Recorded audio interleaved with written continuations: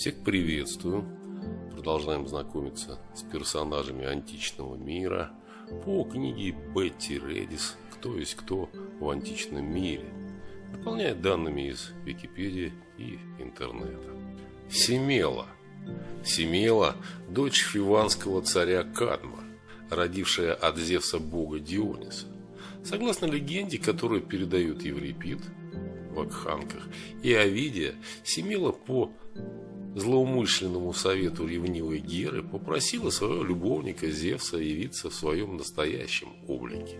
Тот предстал перед ней среди молнии и грома и испепелил Семелу, а не успевшего родиться младенца Зевс зашил себе в бедро и выносил. Имя Семелы не греческого происхождения, возможно, что это переделано имя Селены.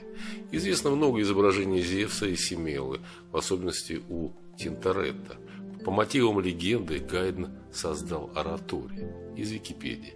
Когда сын Семелы после многочисленных подвигов стал небожителем, он, подобно Гераклу, снизошел в преисподнюю и, торжествуя победу над силами ада, вывел оттуда Семелу, которая с того времени заняла место на Олимпе в кругу богов под новым именем Фионы. Дионис вначале привел ее в храм Трезена. Она была как одна из Минат, постоянной спутницей Божественного Сына, в священных летаинствах или веселых торжественных странствованиях по земле.